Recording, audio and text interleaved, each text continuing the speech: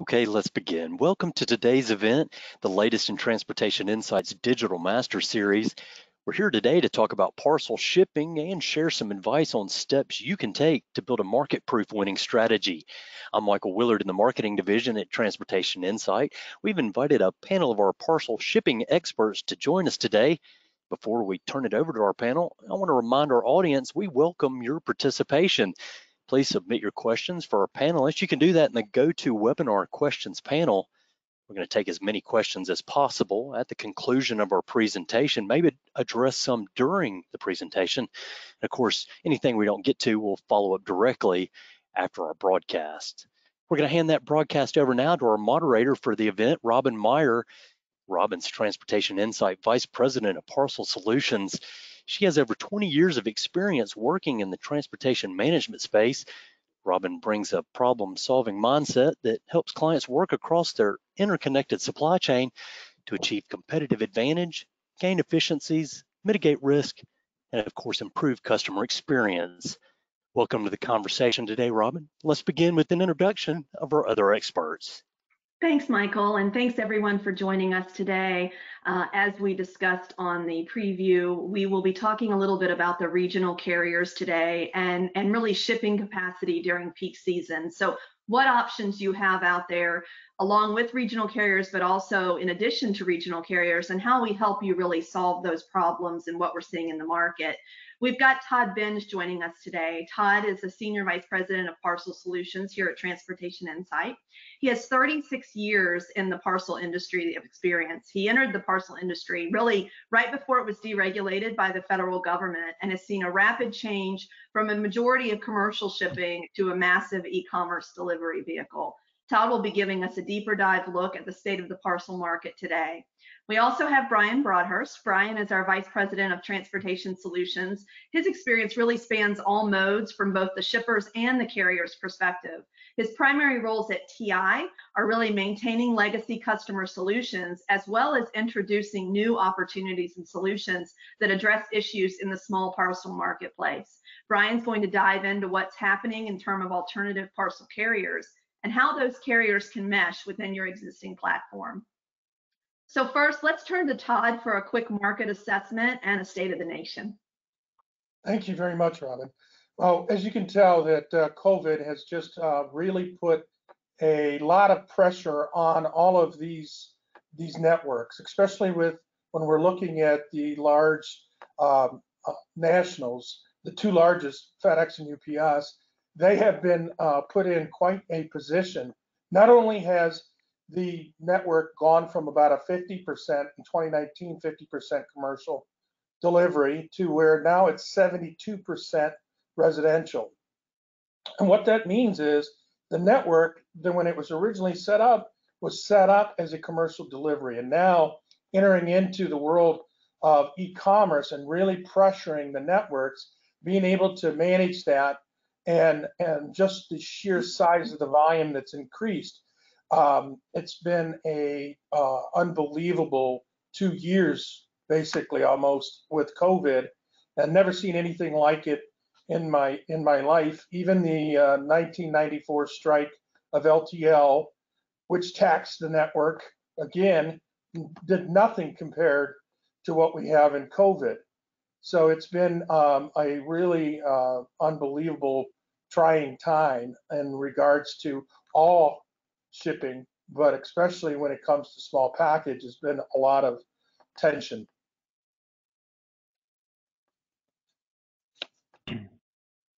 So if you take a look at where we sit today, one of the amazing things is if you it's a it's amazing when you start to look at this right here in that UPS is at 21 million packages a day more Amazon's over 20 million, FedEx is over 18 million, and this is not peak season volume. This is just the volume that they're running at right now.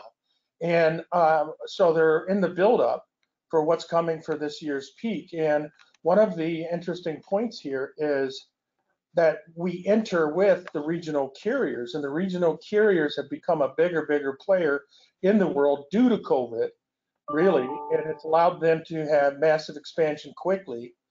So if you go back to 2010-ish, where we would have maybe around 3% of the marketplace was regional carriers. Now we're in double digit as far as market share for regional carriers. It's allowed um, many of the carriers to expand uh, more so than at any other time in the existence of transportation. I came in at the very beginning of deregulation, right? So I was hired in in the world of transportation because the world just expanded in parcel. So UPS grew 60 plus thousand jobs in the 80s, and deregulation was the big uh, catalyst for that. And what we saw was a lot of companies go under and new ones come up. And what you see here in this COVID situation is extremely similar to that in that it's been able to give entrepreneurs a chance to open up and basically fire up, uh, um, you know, final mile delivery, which has become, you know, a, a big hot button, but it's also become an area that can help many of our customers fit the, fit the need of capacity. So I think one of the big things that we see going on here is just the ability of having more choices in the market. And Brian, you're one of the ones that has had, you know, your ear to the grindstone when it comes to regional carriers. So we'd love to have your take on this. Yeah, no, I think it's a, it's a great point, and I think Robyn, we have a poll question around this, correct? Yes, we do. Um, so before you get started, Brian, let's ask the audience, how many parcel carriers do you believe there are in the market today? Um, everyone take a few seconds to choose what you think is the correct answer, and then we'll share we'll share the actual answer with you shortly. Perfect. So, and while that's getting pulled up, Todd, to echo your point, capacity really is the driving reason why the regionals are showing a lot more influence in the market right now. Um, there's they are a proven way to move freight. A lot of them have been in business for decades. They're expanding into new territories, and really they're now getting to points where they're going to be at capacity as well. We have a lot of the regional carriers are now saying for peak season this year they're at capacity. They won't onboard any new carriers, and that was really the impetus as to where they got their market share. But I don't think that's all, right? If we look at this slide on the screen here, you can see the number of states and areas where regionals will service, and they're not all encompassing. A lot of these states aren't 100% serviced by the regional carrier outlined in the slide, but the vast majority of the country can be serviced by a regional carrier or by a combination of regional carriers. And that has really driven the influence. There's once the capacity levels off, and our view is that it's never going to fully level off, they will already be integrated with a lot of shippers. And once you're integrated with a shipper, it is much easier to, to be a linchpin in their in their solution, and they'll continue to get freight. So I think the capacity drove it, but it, it's here to stay.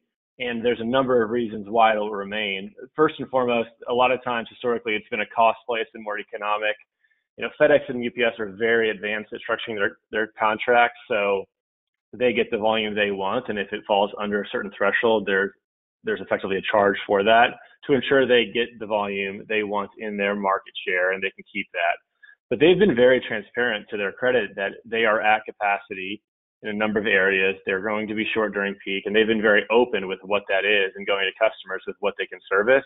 And so that's allowed regional carriers to play a part in fixing the solution without taking business away from UPS and FedEx that they want. It really can be looking at a solution for above and beyond the minimum requirements from a shipping perspective.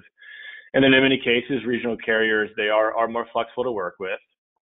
And there's a lot of funding going into this space to help capacity solutions thrive from new entrants to funding to allow regional carriers to expand so that has been a definite differentiator this year as well. And then the last that I'll add is for a lot of our clients, we see it as contingency planning. Historically, the regional carriers was tremendously how do we allow a cost reduction for certain areas of the country where we operate with good density and a coverage by a single regional carrier. And that's shifted a bit in recent years, whereas we always need to be financially viable. But if if you're talking about an extra dollar per package versus losing the hundred dollar sale, that really is top of mind to a lot of shippers. And so in many cases, it can be a lower cost solution, but even if it's slightly more expensive and a large scale shipper implements it for a small portion of their business, a small portion surcharge and a small portion of their volume is, is something they can accept, but it gives them that flexibility to have another solution during capacity constrained times that they can expand and grow and ensure they get freight to their customers. So that's really a lot of what's driven regional carriers and beyond to enter this space in a good market for them to be a part of that. Yeah, definitely. And and I know just during my experience here in the parcel arena, you know, it, it started out originally that a lot of shippers were really kind of staying away from the regional carriers, right? There were several very large ones that, that you could utilize. When you look at the map, you'll notice that, you know, it's a little typical around metropolitan areas, but there are about 150 um, regional carriers out there to choose from.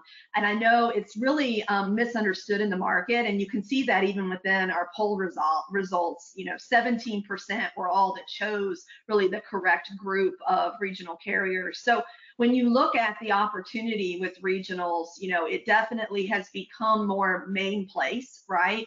And there are a lot of options out there, but they've been in business for decades. And so Todd, can you give kind of a brief historic overview of how the regional carriers came to play and, and you know, what the service areas are, et cetera? So yeah, absolutely. So the regional carriers definitely grew into this, and it's, I mean, many of them have been around 40 years. And it's, uh, again, an example of where uh, deregulation took place, giving carriers the ability to go after business without having all the regulation into it. Just real quick, uh, when I started with UPS, you could not actually uh, pick up a package in the state of Texas and deliver it in Texas. they weren't allowed, they didn't have the rights to operate. And so you, you think about that, and that was in the early 80s. And so um, not until uh, 1986 did they get the right to pick up and deliver in the state of in the state of Texas. And so they used to have to run those packages up to Oklahoma City and back. So when you think of that, you can see where when deregulation came in, there was a lot of opportunity in certain areas because of the, what Brian had mentioned was density. And many of these uh, carriers evolved based on the need, and the majority of them started that uh, started, you know, 35, 40 years ago were started as commercial shippers. And so they were commercial delivery uh, intent on the last mile. And most of it was centered around uh, a quick service turn and the need for some additional flexibility around the pickup and delivery. And so this kind of uh, morphed into where we have it today. So you can see, you know, OnTrac was uh, been around a long time, Spee-Dee, uh, LSO, uh, LaserShip. So uh, many of these have been with us, and we have seen many more morph quickly, especially in the last two years uh, through COVID. So, yeah, so one of the one of the important things, Todd, and I'm sure Brian can echo this, is when you're looking at the opportunity to leverage regional carriers, as well as some of the optional ones we'll talk about in a little bit, you've really got to make sure you have your alignment to your network understood, right? So where you can consider plugging into those regionals or those alternative carriers. And you have to look at complexity and how able is your up a regional option, especially the closer we get to peak, right? Some regionals have already announced they're booked out for peak season. So, you know, Brian, what do you see as opportunities for customers that really don't have a, a regional setup and it's going to be difficult to do that, but they need something for peak or for even 2022? Uh, it's a great question because there's a ton of complexity behind it, right? So we've we've been in the business for a long time of implementing regional solutions and the line haul that needs to inject into a certain regional carrier, um, spreading the cost of the truck over all the packages on that line haul, and then there's all the direct relationships that you have with each of the final mile carriers. And so if you're going to three different parts of the country, you might have three different regional carriers to work with, plus three different line hauls on three different carriers. And then you get into the invoicing and the various tracking numbers. And there, there's a ton of complexity behind it. We, we know it makes sense from a physical flow perspective. We know it, it works. From a capacity solution during peak and beyond, we know it's paramount. But there are a ton of moving parts. And I think those are really what our customers are saying they need to help solve for. But the good news is, a lot of that you don't have to do fully on your own. Like we're we're actively working with customers to solve those many moving parts for them and combine all the pieces we're doing and even getting into more of the execution side of it where we are ourselves helping operate the line haul and helping getting into the right regional carrier. And I think that's really the key piece is, is start looking at it now to look at where are you operating, where are your origins, where are your destinations, what is your delivery density, and working with a partner of any any kind that can actually help you identify that flow, help you with the technology integration piece, which we're also very comfortable with, and then also just moving it into that who is the final mile provider that can move it for you and helping you do that in a speedy way because peaks around the corner, the payment process could be a ton of moving parts, and speed at this point is, is definitely of the essence to get a solution in place before peak season is really causing an issue from a supply chain delivery perspective. Well, and I think another point to make, you know, I get called quite often asking, you know, what are some some good regional carriers? What are some options yep. that I go and look at? Because when you go to the phone book or you go on a website, uh, you know, we talked about there's 150 plus, right? So which ones are the ones that actually have good carrier performance and which ones are the ones that, you know, I'd want delivering my package and giving my customer that in state, that customer experience, right? And so I think that's that's important as well. I know from a, a, client perspective that we've been building out a number of solutions for clients that help them diversify their carriers, whether to avoid volume caps or look at pricing or improve time in transit. Um, can, can you and Todd speak a little bit to an example of how we've helped a client who's basically single sourced with FedEx um, or UPS to split volume really between the major carriers? But before you before you answer that, let me go to a survey really quick.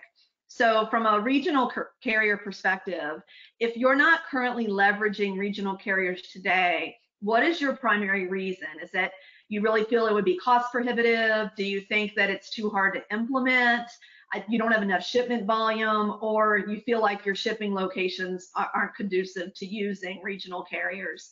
Um, because these are the things we hear the most from our clients and prospects in terms of concerns while considering a regional carrier. So while our audience answers this survey, Todd, do you want to give one or two examples of, of how we've helped out uh, clients recently to diversify and look at alternatives? Yes, absolutely. So the one uh, one right now comes to mind. So uh, this really began at the beginning of, of, of COVID in 2020. And, and as they were ramping up, starting to realize that there could be issues coming into peak season of 2020, one of the things we did immediately was figure out a um, a plan for for basically zone skipping. And what we looked at doing was because it's kind of you got to think about this. Nobody knew COVID was coming, so we had already planned a a pullback and a redesign of distribution centers, and one of them happened to be that we were collapsing it, and then we were going to pull it into a larger uh, uh, distribution center. Well, all this kind of happened at the same time COVID did, so we had to come up with a plan because the national carrier that was supporting them at the time immediately said they're going to cap. So what we did is to what Brian spoke about earlier, we went ahead and what we did was we came up with a zone skip plan, lined up with the line haul, and then went back with a plan to the national carrier and said, we understand you have issues with capacity. Really, centered around um, um, equipment. They weren't going to have enough equipment. And so, what if we brought it closer to you and brought it into your facility that was going to be able to be delivered for this zone two and three um, merchandise? That was our first stance. Then, what we did is, as we rolled into 2021, our plan was okay, that was successful.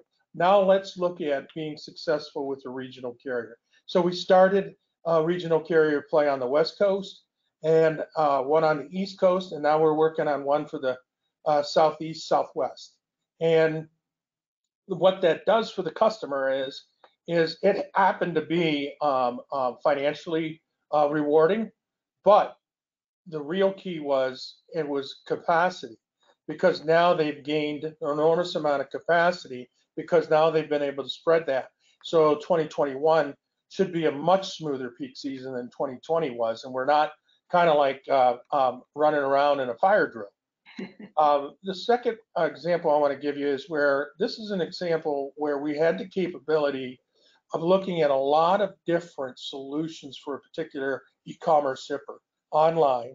And what we did on this, issue is we saw an opportunity to bring in postal consolidators, not only just the national, main national carrier, but then being able to look at a postal uh, postal consolidation solution and regional carrier solution all tied together to where they could look at utilizing options within their network for the solutions to help them be able to gain the capacity that was being, um, I don't want to say threatened, but more or less the, the capacity was going to be taken away or could be taken away. This way, they built in the extra capacity, which allows them to have more sales going in through peak season. They don't have to think about any uh, kind of curtailing of merchandise or sales because they have the capacity to move the merchandise and get it to the end customer. Now, these are examples of two large customers, but there's some other solutions for smaller customers. I know, Brian, you you have some ideas around that as well. Yeah, well, for sure. And it, it, I'm sorry. One thing I just want to point out really quickly, um, you know, is understanding the technology that you really have to have and the visibility to look at all of these different carriers, whether it's a complex shipper from many, many different locations or a lot of volume to a small shipper, it's really important that you have that visibility and that business intelligence when you're looking at a complex solution, right? So Brian, I know you're going to talk a little bit about um, some of the smaller opportunities there, but I just wanted to point that out as an important piece. No, they're all great points. Like on the on the visibility piece, I think if you don't see the current state, how do you operate operate the future state? The, the analogy I've heard in the business with a couple top tier visibility companies in the, in the industry is you, you need to turn the lights on first in the room, and then you can kind of clean it up. And so if you don't see what's happening in real or near real time, you can't really understand how to clean it up. And the, and you clean it up through exactly what Todd mentioned, looking at where the freight needs is starting, looking at where it needs to go, running the network strategy to actually understand where is the origin destination line haul, what should be injected, all that mo- financial modeling and network modeling. And then you know really what you need to do to actually improve it. And then you get into the equally hard piece of actually executing upon that and putting that into real life. And there is a, there's a ton of complexity there. Um, and there's a reason Todd's team is in, endorsed to do these analyses and improvements, optimizations for clients. It's because understanding how it moves is extremely hard work, and you really need to be tied into the industry and the carriers to find the right partners to, to do the delivery. And then it's equally hard to execute. And I think that's in a lot of our customers, especially when they get to the smaller side, that is the big pain point pain point we're seeing is we know it needs to be done, but we need but we need to turn it on ahead of peak and how do we do that so it's seamless to our customer? How do we provide visibility across all of the shipping providers without dealing with a variety of tracking numbers and systems and payments and invoicing, et cetera? And really what they're coming to us for on the on that on that side of the house is how do we simplify all those moving parts into one manageable interface? And that's where we're starting to add a ton of value and moving away from simply the negotiations of the contracts, but how do we implement the new solution? And how, if we create the interface for it, can we replicate that across a thousand clients and spread the workload and start to make it make sense for everybody? And then from the operations side, when you get to the smaller origin volumes, it's really an operational solution like a consolidation. And that is when we combine a number of commingled freight to get it to the right place. So all of those are really top of mind to our customers how do we simplify it? How do we spread a lot of the work to make it an easy to digest and implement solution ahead of peak season? And how do we leverage the advantage we as a company have of knowing a number of clients that all have similar pain points that can combine to do it better together than they would apart? I think that's one of the values in having somebody you can kind of see across shippers, across carriers, and have the right partnerships in place. Yep. So when, when you talk about simplifying um, in terms of the results from the survey, and Brian, I think you've touched on some of these, but maybe based on the specific point, you could give a little bit more color to each one. So 50% of the attendees say it would be too difficult to implement a regional carrier model. Um, so let's talk about that one first. From the difficulty perspective, you know, what do you see as opportunity there? Yeah, it, it's a good point. I mean, there's we are actively in the business of solving this for our clients. Everything from what regional carriers do you use? How do you move freight to those regional carriers? What is the technology to track the package? How, who do you rely on for the execution support and then the invoicing? Those are really the main key pieces, all the way from tender to payment, of how hard it is to turn on a, a carrier. And I think we're you, you, need to leverage a partner who knows that space. Um, we are advisors to inform clients how to do that. We also do a lot of that on their behalf. We're in the business of moving freight as an overall company. And so I think that is using the right partner who's familiar with the analysis stage all the way through the execution stage will make that a much easier solution for shippers to implement ahead of peak season.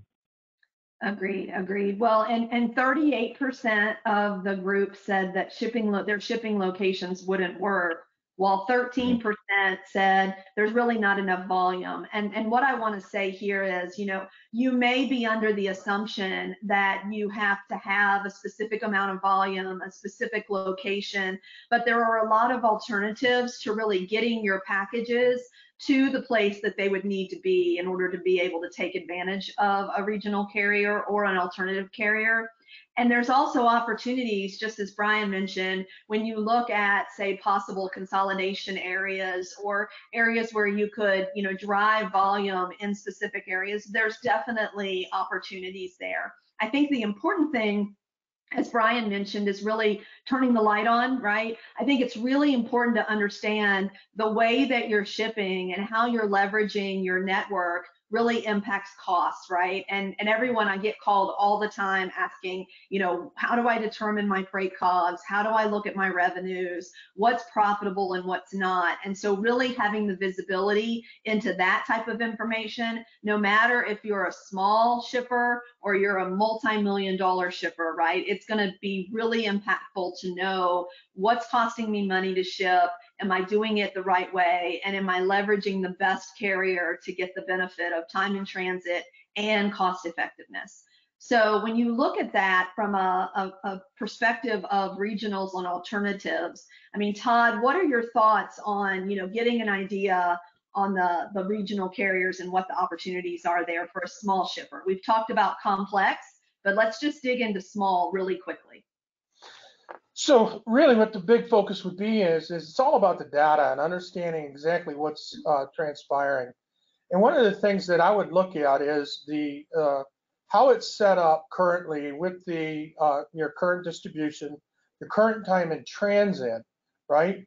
And how are you reaching that time in transit and um, what's the actual um, on-time performance of the carrier that you're using at this time so we could walk in and come up with the possibility of using a different, uh, a different model. And one of the things to think about in this arena is you don't necessarily have to build a direct full trailer to the destination. I think that's a, a misnomer. Is that um, the one thing great about working with regional carriers is their flexibility and their willingness to engage different um, uh, injection um, methods and how you actually inject into the regional carrier. So, you know, unfortunately, there's not a silver bullet. So the way I always envision it is, is you got to put in the legwork, figure out what can be done, and come up with the different scenarios and recommendations. A lot of times it's a little bit of, you know, let's test this. We'll make an adjustment here, fine tune that, and then you know we've got the final product running. So I guess the the the point is uh, there's options to embrace to look at this. Um, just real quick, one of the first ones that comes to my mind is looking at the the, the ability to, to utilize LTL is quote your line line haul, and um, you know that's one of the things that TI does extremely well. So one of the things I would look at is um, the possibility of that. There's also different uh, services that some of these consolidators offer that might fit based on the characteristics of the packaging. So it's always a characteristics play, not only the customer's customer, but the package themselves, right? And then of course, where's it going inside the United States lends itself to to more possibilities. I, you know, the one thing is is that uh, um, I guess the older you get, the more you say never say never. see so much change that um, I, you know, I, I would uh, recommend any of the customers that, you know, never say never. There's, it might not work at this junction, but in the near future, things are changing so rapidly, especially technology, that offerings will uh, be uh, in front of them shortly. Right, definitely. I mean, I remember back you know in the before pre-covid time where invoice data was was definitely good but to have you know in day and every 15 minute updates wasn't even heard of that much unless you were pinging the carrier site yourself and now to be able to get that visibility from all carriers, whether they're regional or hybrid or national, is something that everyone's looking for and wanting, right? And something that we're providing to clients today. So when you look at um, at this webinar, you know, there's really three main key takeaways. So the first takeaway is, you know, shippers are struggling with unbudgeted price increases. Um, we've seen impacts from large price increases. I mean, we have clients that are getting calls of 30 to 40% price increases from the national carriers to request that shippers leverage supply chain share in the cost from increased labor markets. We have clients that are receiving emails asking to help pay some of this labor force. And I know you all, because we here at TIR are probably struggling to find employees and people that, that would like to work, right? And so with all of that information, understanding all of your options and how to diversify your carrier network is extremely important. So being prepared, you know, be the boy the boy scout, right? Be prepared. And when you're prepared, then you really have an understanding of what are my options, how do I diversify my network, and really what alternatives are there out there. Um, and so it's really important to be prepared. Yeah, absolutely. I think the, the good news is that you as a shipper are not the only ones one facing the capacity issues today. It is a industry-wide phenomenon that everybody is dealing with, all the way from the shipper side through the supplier side of new entrants entering to help solve that for you. And it's really, really paramount to make sure you're keeping a pulse on what are those new entrants, or that you have a partner who can flag that for you because they're naturally watching the industry anyway. I know we as a company that is top of mind from, from top level down is to keep an eye on new entrants that can be a solution. And, and we can always flag the ones that may or may not make sense for you. Uh, but at the end of the day, I would say we're simply in an unprecedented time. Like we're more capacity constrained than ever. USPS for the first time in 35 years is actively reviewing contracts. UPS and FedEx are saying they're at capacity. Regional carriers are now saying they're at capacity and then there's new entrants entering the market every week. Uh, that's a lot to keep up with. The supply chain final mile is now getting more attention than ever. There's we we've heard that seen that in the news more in the past year than we have in the past decade. And a lot of that is because for the shippers, that final mile is actually going to the end consumer's house. So it's a true customer interaction. It's a customer experience, and that's top of mind. So with all that being said, the key thing is to think ahead start to work with a partner who can manage all that for you is, is critical. And I, I, referenced earlier all the moving parts from technical in- integration through final mile partners, and we have a tremendous amount of experience in that space. We're actively implementing solutions for customers. And I, I personally welcome any opportunity to speak with anybody who's trying to solve for that. I know our, our contact information will be out in here in a few minutes, but those to me are, are the key items that shippers need to have a pulse on to solve for capacity in peak season, but candidly, the capacity issues that are going to continue beyond peak. And so uh, the other area I would say is the uh, stabilization of the network. And, you know, everything is being tied back to the struggle for, for maintaining staffing. And everyone is in competition for this um, finite body that we are struggling to, to, to get back into the workforce. And uh, uh it's, it's, everyone is, is facing this difficulty and it's really being pushed to the forefront with when it comes to the carriers. You can see the carriers are all struggling to make sure they maintain and staff these facilities. You know, the single mile, the final mile um, delivery um, execution. Remember, they're basically um, performing the sortation uh, at the uh, local level, then out for delivery and pickup and the large national have a much more complex network in place that requires a, an enormous amount of staff. Everyone's seen that uh, um, every, you know, UPS and FedEx are, are looking to hire, uh, you know, 100,000, 80,000. Amazon's in the same position. That's an enormous amount of uptick for a short, very short period of time coming in when you really think about it, but it's just an enormously mass uh, impact to to the United States. I mean, and the globe. Um, it's just uh, uh, it, we took it for granted for so long because the capacity existed, and so when peak season came, the carriers already had that inherent capacity built, and then the would just the network could absorb that six week period, and now we're going into these periods of massive uh, peak season with the networks already reaching to the point of capacity. And so the shortfall um, in volume is less this year, we think, than it was last year. But still, the difficulty that we see is probably more on the uh, shipper side.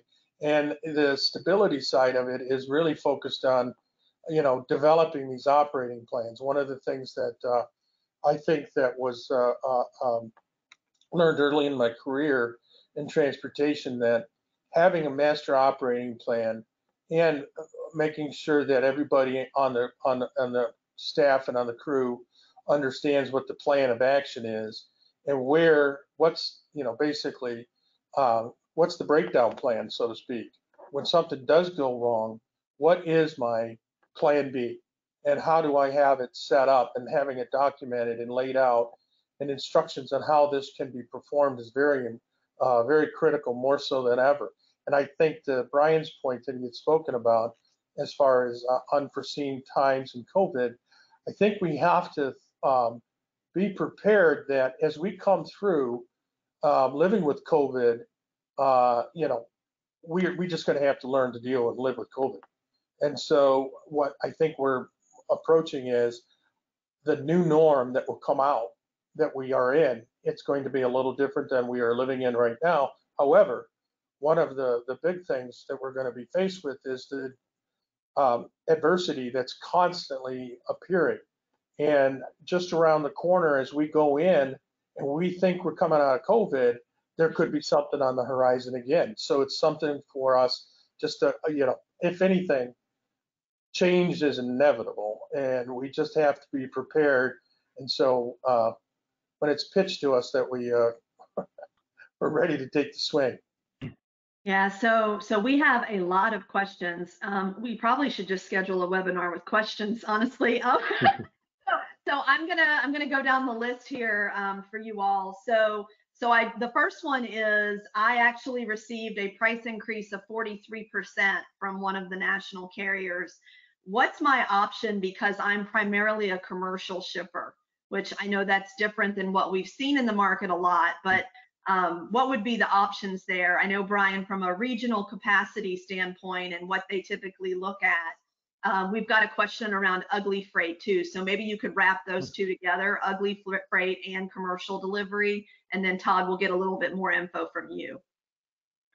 Yeah, and I think one of the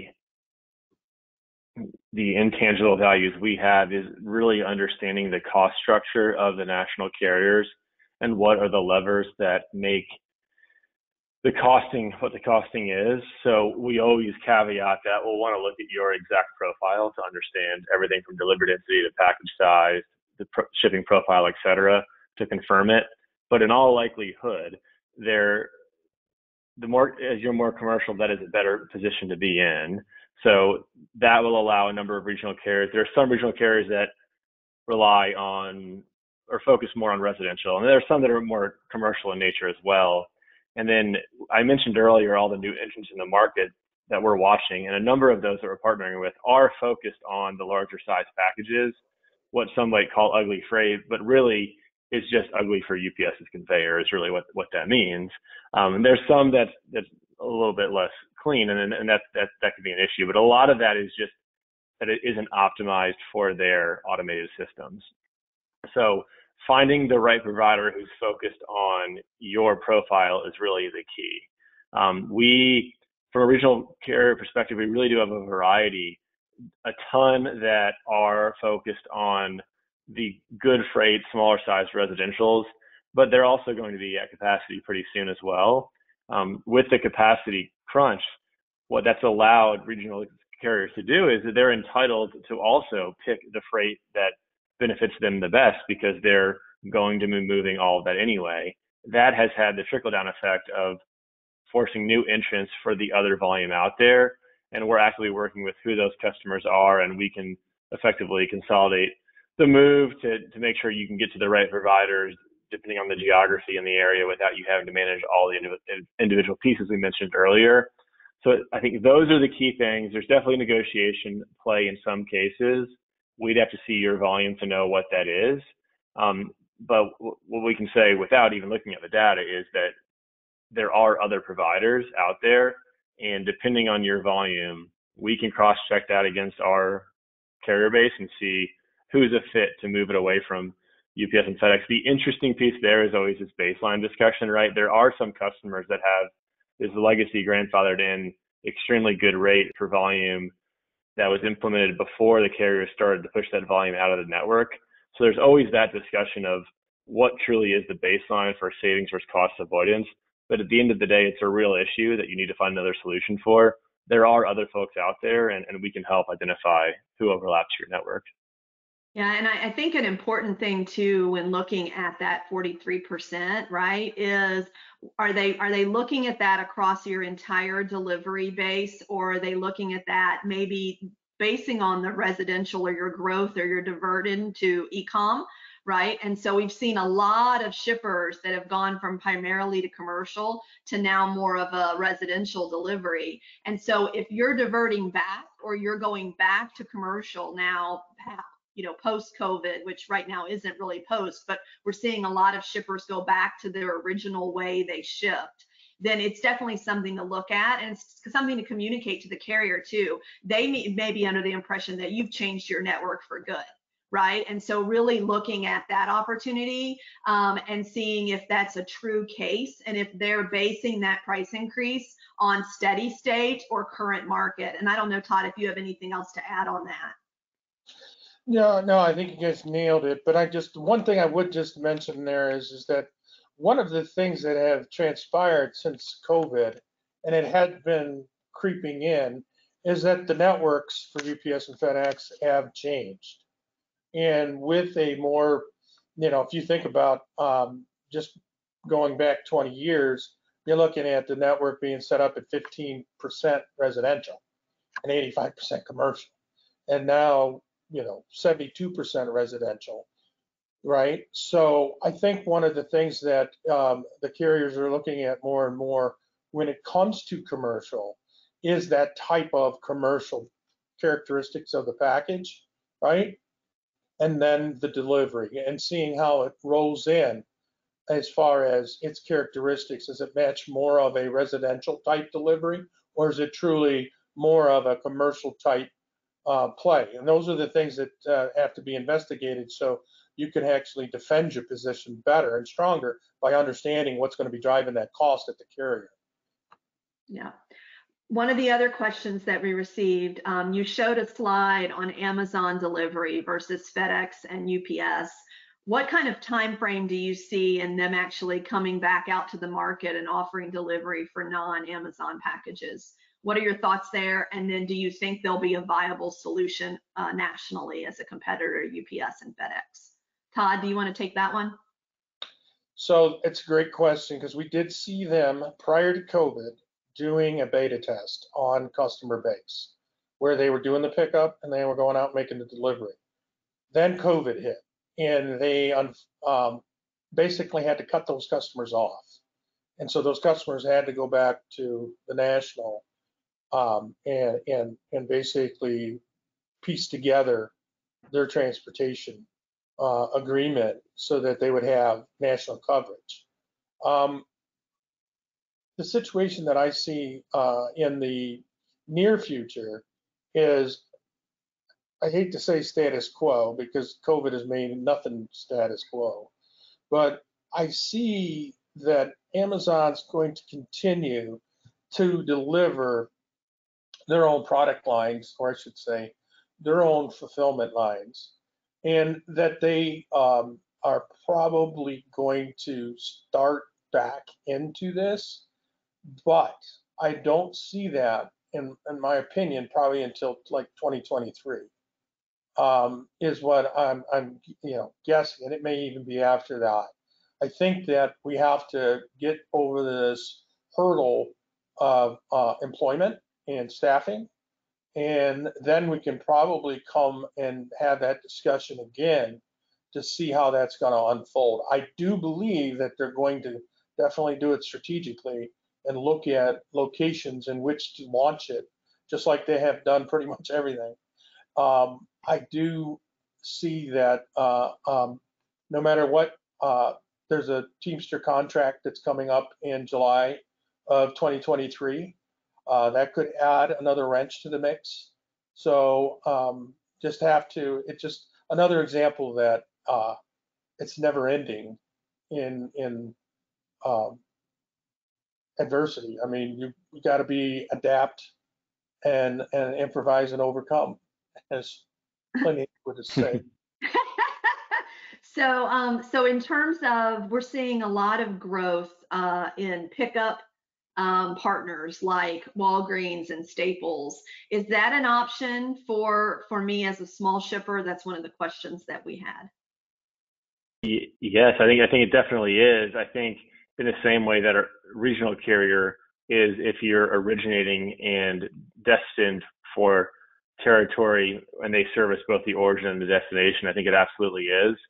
I think the the risk there is how much of the volume can that perform for you? And uh, this is a great angle into there are a ton of somewhat siloed providers in the US. And if you combine them together, they can service the lion's share of, of, of the geography, right, of the population. Um, but they need to be connected. And that's really the big piece because if you happen to have the right origin destination, you can have another solution move for that portion of your volume with one point of contact. But to really move the needle, you need to look at volume moving outside those regions. And this all ties back to what Todd mentioned earlier from the solutions we're designing for customers. And then my add on of where we're actually helping give that user experience in a, in a succinct one to many type managed interface. And that is really, I think, when you really start to make the difference of where is the freight going to from what's what can be delivered by those carriers, whether it's Walmart, whether it's regional, but your freight needs to get there. That's a phenomenal time for us to have a discussion and, and to see how we can help you get it there. Because it's all about connecting those pieces and having another solution to solve for capacity constraints that we know are going to be around for quite a while. Well, and Brian, you just mentioned, so one of the other questions that we received was around carrier performance. And the way the question reads is, we saw some pretty crappy carrier performance uh, last right. year during peak. So what do you think it will look like this year? And do you think the regionals or these alternatives are actually an option? Do they have the same struggles? Um, so do you want to talk a little bit about last year versus this year, Todd or Brian? Brian, if you want to. So I'll go ahead and say that, you know, if you take a look at last year, um, one of the big things is we've uh, they've added more capacity going into this year just based on their own capital expenditures and their um, um, continued uh, expansion of their own networks. And so by adding in the capacity and and with the expansion, that uh, this peak season has uh, the potential to be smoother than it was last year because last year, I mean, pretty much everybody got caught off guard. And it was you know it was all hands on deck trying to figure out how to keep the, the ship afloat. So what i i, I see um, happening this year is that much more um, a, much more uh, uh, a, much more a much larger effort toward keeping service and reliability steady and stable. And so that what they're going to do is make sure that their networks are going to be running and they're going to fire up these sorts earlier than they did last year just for the sole reason they know they learned. Mm-hmm. and so with that these they'll go into seven day mode much earlier in the, the beginning of the peak season. And i think that what you'll see with that is they won't be as taxed in the delivery side because the volume will be flowing and you know one of the big disconnects inside these large uh, complex networks is the hub network and making sure the hub network runs smooth because if it disconnects, then it snowballs everything throughout the network. And that's what you see happen and why we had problems with, with service. And so those that's that's a that's a a big one right there. My take of it. Brian, I don't know if you have a different opinion or. No, I definitely don't. I think the only color commentary is it, it's not a question of if they'll have capacity. It's it's a question of how far short on capacity will they be. That's always a discussion now. Um, and to Todd's point, their the regional networks and, and the national carrier networks look different. There can be less moving parts if you get it to the right injection point, and so you can bypass some of those issues. So all of those reasons, I would say regional carriers are absolutely a true option. The, they've been proven more in recent months than, than ever in the past. They know what they're doing. Um, with the right injection areas, there can be less moving parts. There, there's, there's a reason some of them are at capacity. It's because they can service their customers. So I think considering all of those unique options, especially when the other option is not moving your package, I think it's a no-brainer. I would highly advise it, and and it's it's something that everybody should be taking very seriously. Well, and a lot of shippers really, you know, they learned by fire last year in that they were dependent on the carriers to share their performance around the country and what the expectation was.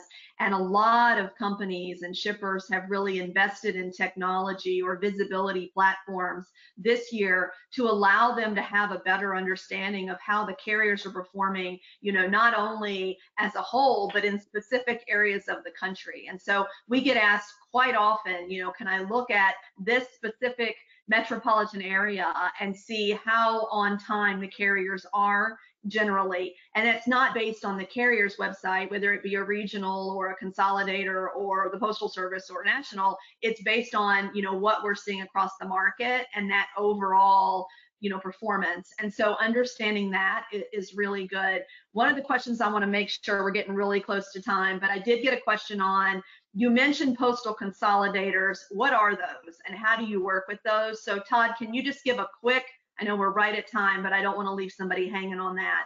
A quick overview of what a postal consolidator is sure. and what to do. So postal consolidator is basically uh, going to uh, execute a pickup and then do the sortation to go deeper into the post office, either a you know sectional sorting facility or a, the DDU, which is your local post office.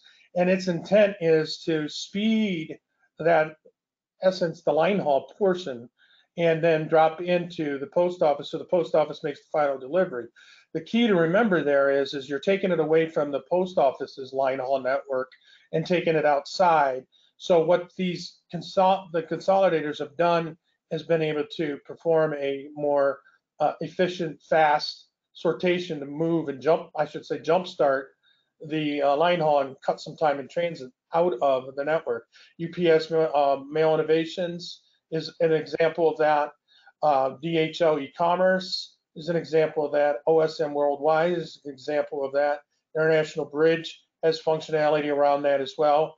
So the, that's a, a big uh, portion of what they can do. So Michael, I know we have a couple other questions, but we're going to have to follow up with those groups later. So I'm going to turn it back over to you. Sure. Thanks, Robyn. A lot of great content from you and our other panelists. And of course, we will follow up with those other questions that we have remaining. We'll have our subject matter experts contact you directly as soon as possible to get you those additional details. And so with that, we'll conclude this Transportation Insight Digital Master Series event. To our panel of experts, again, thank you for joining us. Thank you as well to our audience for spending a little bit of time gaining some information about hopefully helping your business improve.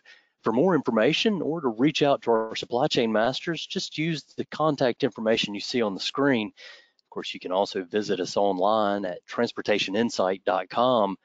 That's where you hmm. can access more about our solutions, our blogs, resource guides, a lot of information about parcel transportation that will help support your transportation management and supply chain strategy in 2021. On behalf of our panelists and Transportation Insight, thank you for joining our broadcast. May you master the remainder of your day.